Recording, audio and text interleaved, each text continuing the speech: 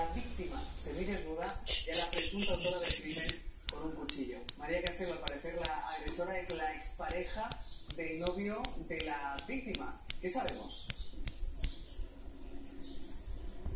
Buenos días, sí, los hechos ocurrieron en este portal que está a mi espalda. La víctima llegó de trabajar como cada noche, entró al portal y una vez en el portal una mujer la abordó con un cuchillo, se metió con ella en el ascensor, subieron hasta la quinta planta donde reside la víctima y allí le obligó a entrar una vez dentro. La presunta autora de los hechos le obligó a tomarse unas pastillas sedantes, a desnudarse y a meterse en la bañera.